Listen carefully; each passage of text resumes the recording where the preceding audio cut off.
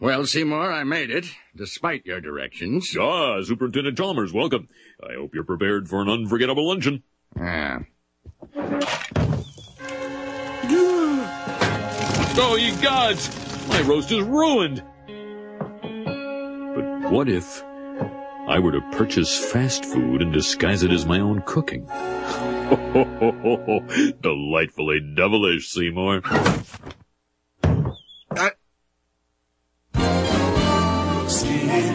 With his crazy explanations. The superintendent's gonna need his medication. When he hears Skinner's lame exaggerations, there'll be trouble in town tonight. Seymour! Superintendent, I was just. Uh, stretching my calves on the windowsill. Isometric exercise. Care to join me?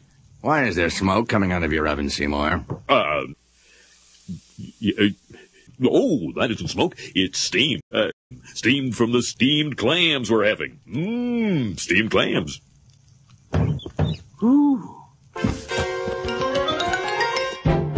Superintendent, I hope you're ready for mouth-watering hamburgers. I thought we were having steamed clams. Uh, you know, the, uh, no, no, I said steamed hams. Uh, that's what I call hamburgers. You call hamburgers steamed hams? Yes. Uh, it's a regional dialect. Uh-huh.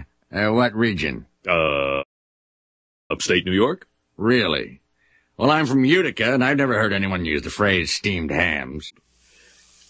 Y- uh, you know, the, uh, oh, not in Utica. No, it's an Albany expression. I see. You know, these hamburgers are quite similar to the ones they have at Krusty Burger. Oh, no. Uh, patented Skinner Burgers. Old family recipe.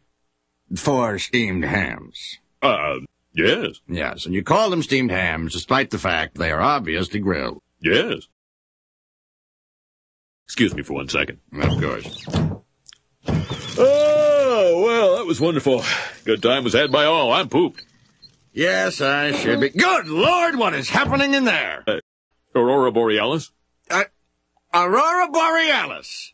At this time of year, at this time of day, in this part of the country, localized entirely within your kitchen. Yes. May I see? No. Seymour! The house is on fire! Uh, no, Mother, it's just the Northern Lights. Well, Seymour, you are an odd fellow, but I must say, you steam a good ham.